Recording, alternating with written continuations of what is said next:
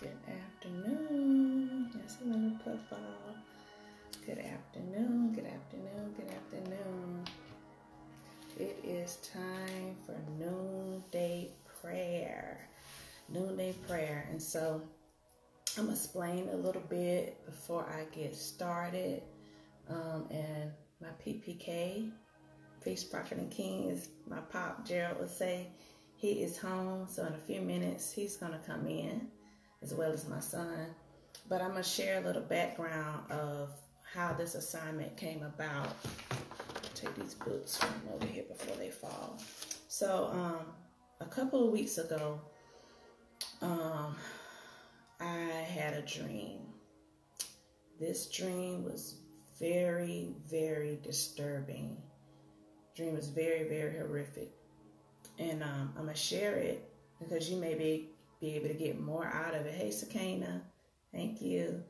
Um, so in this dream, me and Joseph were, were uh, walking down this long road. It, it's almost like the road was like a country type of road.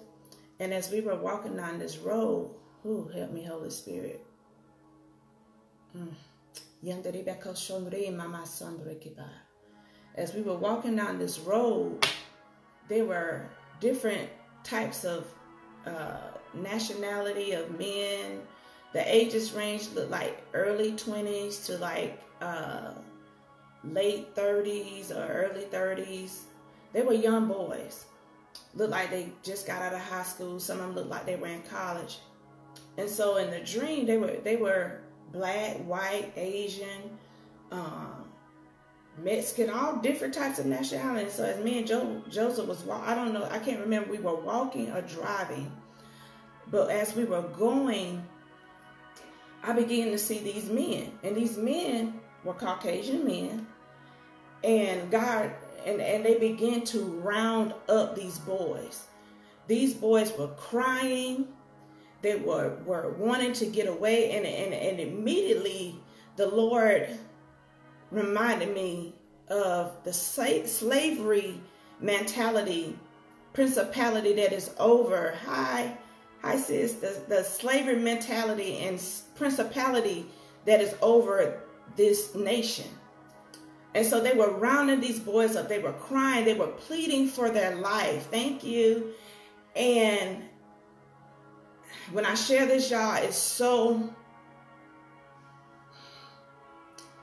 it's so horrific that I have to share with you because I want you to understand how important it is to pray for our men.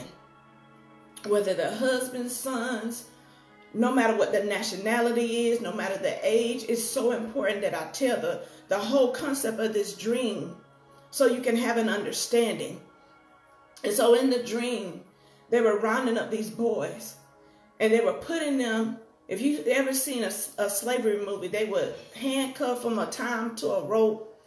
But they had this hook, this, this, this hook type thing. It was kind of curved like this. And they were taking it and they were shoving it up their anal parts. Did y'all hear what I said? Each and every young boy that they captured. They were doing that to them. And I was looking and I was holding on to my son. And after they did all of that, they would dress them up. And I said, okay, God, what, what's going on? They would dress the, dress the boys up. And so we, we went on and I was holding on to Joseph. Thank you, Holy Spirit. I was holding I was holding on to my son. And as we began to walk up the road, I could see men from, uh, I don't know if I was driving or walking. I think sometimes I was driving and sometimes I was walking. And I began to see men, men from and boys from miles and miles away. They were tied up. They were dressed up, and they were tied to ropes. And they and it's always they they were being gathered like cattle. And I remember going to this house and telling this young lady, I said, they're taking our men. She looked at me while I was holding my son and she said, oh, they only told me they were going to take two or three. And I looked at her like, You supporting this mess? And she said, Y'all go inside, get you some nuts. And, and so when I went inside, there were a lot of kids in there, but there were no men. And so as they, I, I, I, began to hear in the spirit, in the dream that they were coming closer. And so I got Joseph and we went and hid up under the We went and hid up under the house. And when I when we hid up under the house, I could see some kind of way those boys had gotten free. They were running through the fields like a large field. And they were running and trying to get away. And when I woke up, and I remembered, I, I, recorded the dream and I wrote down what the Lord was saying. And um, I apologize. I'll come back later and explain the three things that it, that the Lord showed me in the dream. But God told me, He said, I need you even the more. I know you pray for your husband and I know you pray for your sons, but I need you even the more to pray for the men. This spirit that has reigned in our earth has, has, has reigned long enough. God showed me three things in this dream. And y'all may be shocked and y'all may not be shocked. But the one thing that he showed me that was very significant, as we as women have offered our men up as sacrifices, we have opened the door for our men to be to, to be cattle. And this is a part of the dream I forgot to mention. There was a little boy in the dream, and he asked to go to us go to the store. We were in the house, and when he went to the store, he went and, and God allowed me to follow him in the spirit to where he was going. And he went up to this man and he held his hands up like, I want to be taken too. And so I asked God, what was? What is that? God said, this world our homes, even our churches, have allowed our young boys to think it is okay to be something that they are not. Whether it's homosexuality, whether it's uh, insecurity, whether it's is is is low self-esteem, we have set we have set the playing field and said it's okay to do this. It's okay to be this way. And God showed me because this mindset that has happened over the last years or so for women to say, oh, I don't need a man. I can take care of myself. I don't need a man's money. I can do this for myself. God created Adam first. God created Adam as a protector. And God showed me even last night. He said when Eve went and, and, and ate the fruit, she showed her husband, I don't need to follow your instructions. I don't need to listen to you. This LGBTQ, and this may get cut off, and I don't care. But I'm going to keep saying it. My soul. This LGBTQ agenda, we don't worry about certain things until it hits our home. But I'm telling you all, we better pray. We better intercede and stop praying for your husband. And just because he's your husband, pray for his soul, pray for his mind to be saved. Because even if God did not restore my marriage, my goal is for my husband to be saved, for my husband to be delivered, for my husband to be set free. God said, when that woman said, oh, they were only going to take three men, that let me know right then and there that we got to get out of this attitude. Oh, you do me and I'll do, I'll do, uh, you, I'll do me and you do you. That's how some of us have gotten in waiting for our husbands to get to the place that they need to be, or our sons, or our uncles, or our grandparents. We get so tired and so uh, uh, impatient. And I was talking to a young lady the other day that said she didn't want to pray for her spouse anymore, that she just felt like getting a divorce was the only option. But God reminded me somebody had to pray you out of your mess. But we have these time limits on our spouses. And God said, enough is enough. If I had completely gave up on my husband, even after he got the we got divorced and he married several times, a lot of people don't know our full stories. I married again. But God said, go back That is not your husband. Get out of that relationship. Pray for him. I could feel y'all from the time I, I married somebody else. God would never let me stop dreaming about Nick. He said, You are going to hell if you don't get your life right. And so many times we are stuck in this place where we feel like everything is about us. Some of us, when we talked about, we have made our husbands out of idols. We have made our sons out of idols.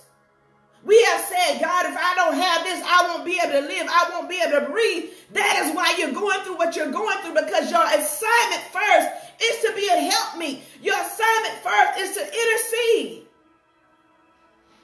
So when God showed me that dream, I had to repent again.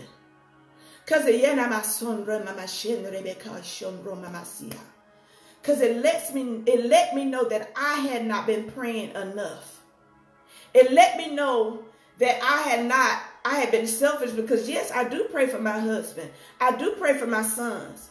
But God began to show me all different types of people, all different types of, of men.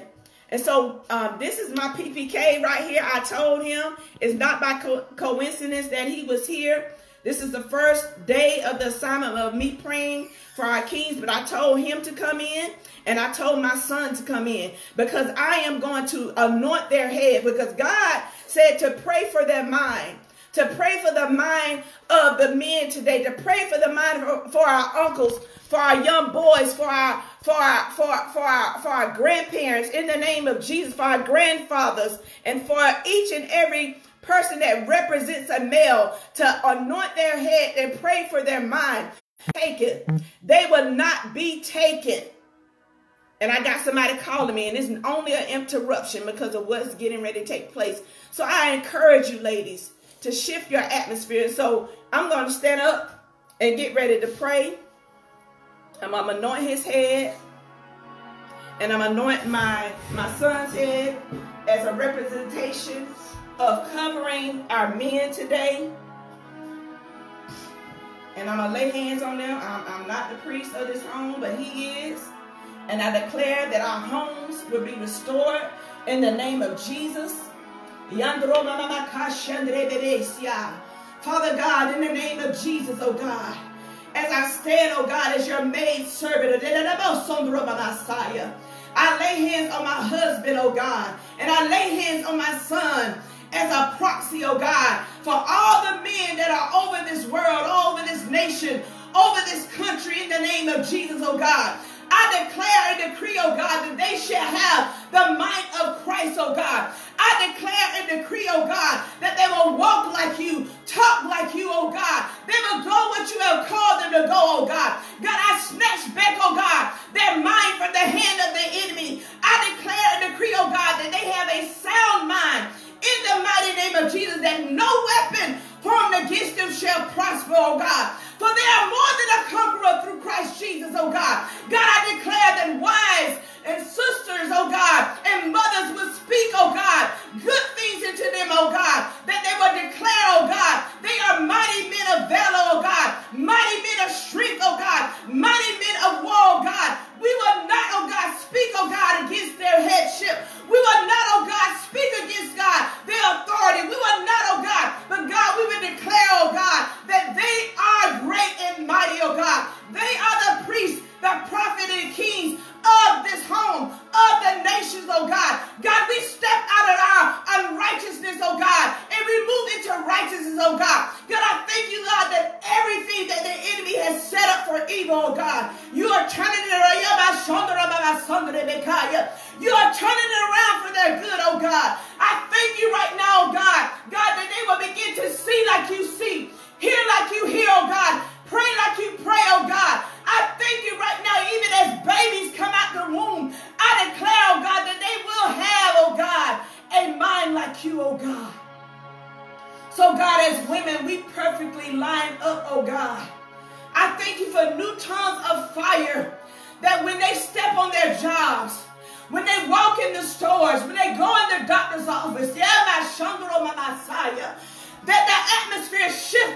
their presence, oh God.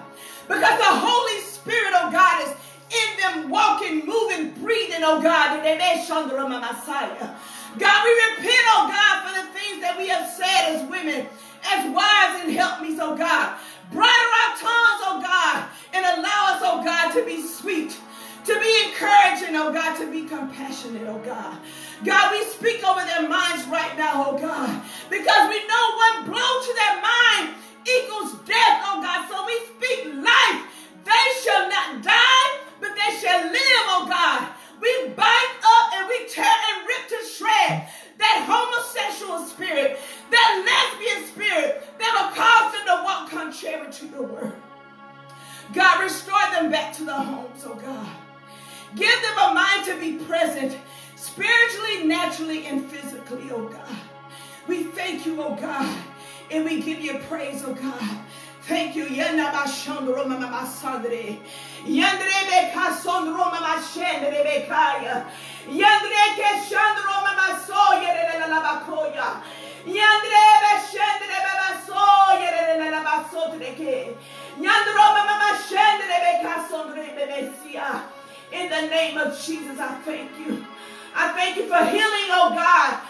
from past wounds, oh God. I thank you for healing, oh God from misunderstandings, oh God. I thank you for healing, oh God. Every word curse is broken over our men in the name of Jesus. No more slavery. No more slavery of the enemy. God, but they are walking in your presence, walking in your truth, and walking in your life. We give you praise, God, and we seal this prayer over our men by the blood of Jesus, there will be no backlash, no retaliation, but they will rise in authority, rise in confidence, rise in healing, rise in breakthrough in the name of Jesus. And we give you praise in Jesus' name. Amen. Thank you, Lord.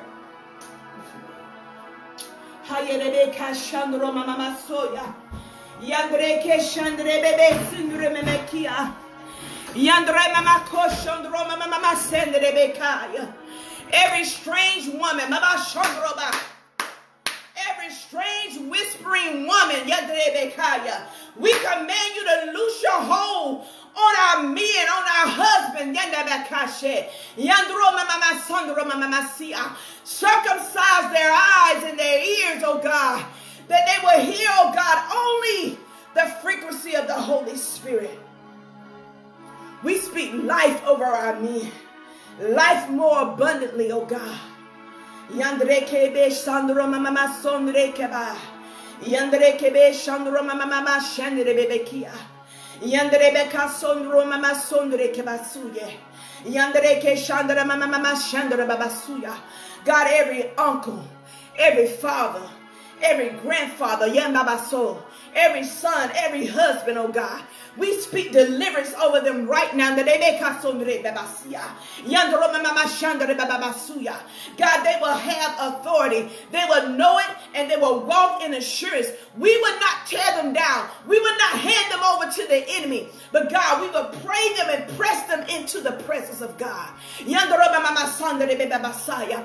word shall be sweet as honey. God, we will be slow to speak and swift to hear, oh God, what your spirit is saying to us, oh God, to lead our husbands, to pray for them, to cover them, oh God, even if they're not confident in leading, God. The Bible says, by the conversation of the wise, that they may be saved, God. Oh, I apologize if I, if I butchered that up, but I'm thinking about the scripture that is not by the adornment, but it's the conversation that we can win our husbands over without a word.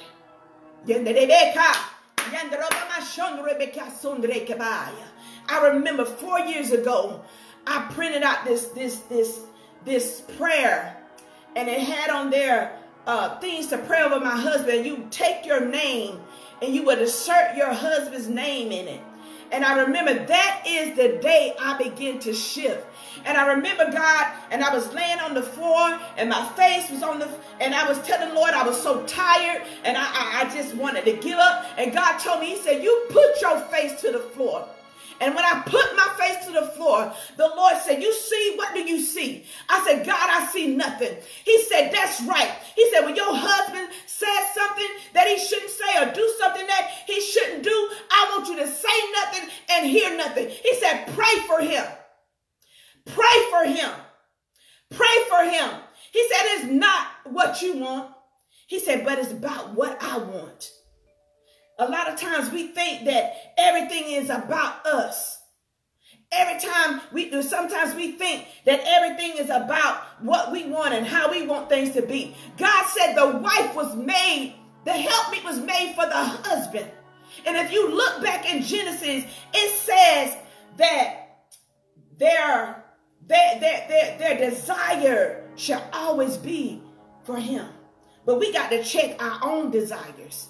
We have to check why are we so discombobulated? Why are we shifted? When things don't go right, what we should be doing is shifting into a place of proactive prayer. A prayer not when something is going wrong, but a prayer when everything is going right. Because when I tell you the enemy does not sleep, if he can come to you in your dreams, you know he ain't sleeping. But I thank God for the prophetic anointing on my life. I never understood why God dealt with me as he dealt with me as a child. I never understood why I would see things and why he had me not being in a popular crowd. He said, because in this time and season, you're going to have to do some things that are not about you. You're going to have to do some things that are not about, about what you want and how you feel. But it, it is about what God wants and how God feels. We have lost too many of our men to this world. And it's time for us to rise up. God saved us so we can be saviors of others. Our husbands, our sons, our fathers, our brothers, our uncles, our grandfathers, when they see us, they should see God. The Bible says he created us in the image of God and unto his likeness. And that's why my business, which I'm getting ready to launch, has already been in operation for a while. It's called Restore My Treasures. Because God said he has so many treasures in the earth that has been lost whether it has been given over to the enemy or whether it's been, been snatched by the enemy, no matter what it is, God wants everything restored back to his original plan in Genesis 1 and 31, where he said, everything that he made was very good. Very good. Our health was very good. We had instructions on what to eat. Even when it comes down to your PPK, when you pray for it, when you fix his food, pray over his food. Pray over it. That ain't witchcraft. You want your, your spouse to be healthy. And so God began to show me that this, this agenda that is rising up in the earth with these laws. I, I'm not a politician, but God has allowed me to start paying attention. It is not just about the presidential election. It's about the Congress. It's about the lower level as well. But more so, ask the Lord what principality is over your nation. God allowed me to discover the one of the main strongholds over our nation is division. And we can see that because many of our families are divided. And, and a lot of them on the name of Jesus. So we have to get to a place where we're operating fully how God wants us to operate without second guessing, without wondering, without having any buts and God, what if this? Do what God says. Says it's not by chance the first day of this assignment, my husband was home. I didn't even know he took off. I, he come jumping on the bed, telling me surprise. I said, yeah, it is a surprise. But God knew that this, this, this, the start of this prayer needed his presence. And even though he did not pray, I didn't even know what I was going to pray about. And God began downloading things this morning. He said, pray over their mind. Lay, ask your husband to lay hands. And he had already told me, I ain't doing no live. I said, baby, I just need you to come in here and stand proxy for all the men. Boys, all the boys, the, the fathers, the, the husbands, the, every nationality. It's not just about one uh, culture, but it's all of our cultures. Because in that dream that I shared at the beginning of this live, they were taking all of them. But I thank God that He gave a way of escape. So I pray in the name of Jesus, God, that your Holy Spirit rule reign and rest upon each and every person that shares this live, that likes this live, that even sees a second of this live. God, I decree and declare that no weapon formed against them shall prosper, for they are more than conquerors through Christ Jesus. I thank you, Lord God, that your hand is upon them and it shall not be removed. God, I thank you, Lord God, that they won't move to the left or to right, but God, they will obey your instructions, oh God, and you will give them clear insight and understanding what you are desiring for them in this hour. God, I thank you that every man is covered on this live. Every brother, every son, every father, every husband, oh God, every grandfather, every uncle, in the name of Jesus, that you're shifting them into their rightful place in you, oh God. And God, I thank you for the anointing of the Holy Spirit that rests on you, that rests on us and we can do great and mighty things for the kingdom of God. And it's in Jesus' name I pray. I seal this prayer in this assignment with the blood of Jesus that no backlash and retaliation will come. And it's in Jesus' name I pray. Amen. So thank you all for tuning in. This is the first of many assignments that God um, has me. Um, God's told me every Friday. I don't know if it'll be at 12 o'clock. I will try um, will be prayers over our men. Um, he wants me and you to be intentional about praying for our men. Um, I mean, when I think about that dream, and hopefully um, next Friday I'll come back with more of that, of some of the points that the Holy Spirit gave me about the dream. But I'm telling you, we cannot afford to lose any of our men when I tell you it hurt me so bad that this young boy voluntarily went up to be taken. That when you see stuff like that, it's a problem. And and that says that someone has okayed it to be a certain way that God did not ordain it.